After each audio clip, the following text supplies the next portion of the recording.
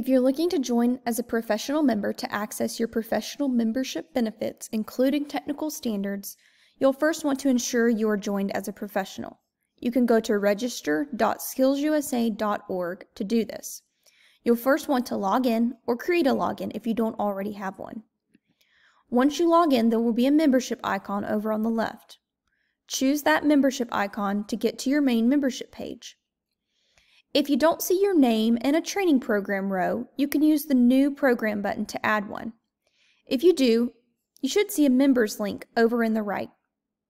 Once you click on that, this is going to open up your main membership page with your name in red, and it should say professional in the division you selected. You can choose new member if you do not see your name as a member listed.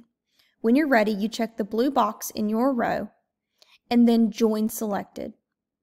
This is going to open up the membership page with all of the options for you to confirm your submission. You can choose your payment option and select the answer to the questions given. You'll then select responsibility to pay the invoice and choose join now. You'll want to make sure the email that you're using to join is the correct email because this is the email your absorb information will be sent to. Once you've confirmed that you're using the correct email and you have selected the join now button, you want to check your email. You should be receiving an email from no reply at myabsorb.com with a link to set your password.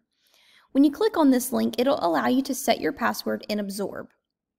Once you do that, you can log in and access your professional membership benefits. The page will look like this, and you can choose login using the password you just set with the link in your email. Once you log in, you'll scroll down to the green tile icons. One of them is titled Professional Membership Benefits. When you click on that, you should see a folder titled 2022-2023 Professional Member Benefits Package. When you click on that, you'll see your membership benefit tiles show on your screen. You should see the technical standards, the Framework Integration Toolkit, profi- Professional Development for Advisors, Program of Work Toolkit, e-courses, and Jump into STEM.